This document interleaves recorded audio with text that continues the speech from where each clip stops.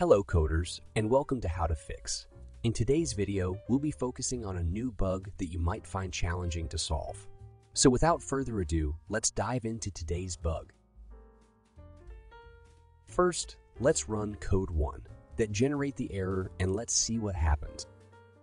So here's the breakdown and the fix for the issue. Please feel free to pause the video to read through the explanation.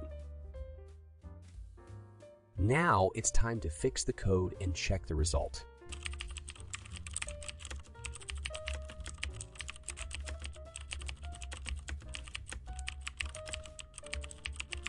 And voila! The code runs perfectly and our output is just as expected. The error is gone. Alright, that brings us to the end of today's video. If this tutorial was beneficial to you, please hit the like button and subscribe to our channel for more programming bug fixes. Stay curious, keep learning, and happy coding everyone.